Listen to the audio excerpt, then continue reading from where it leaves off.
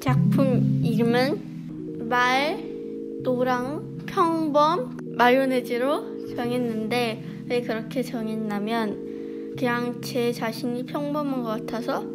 평범이라고 했고 그 다음 말은 제가 좋아하는 게 말이어서 그렇게 정했고 마요네즈는 제가 좋아하는 음식이어서 그렇게 정했고 해서 그렇게 만들었습니다.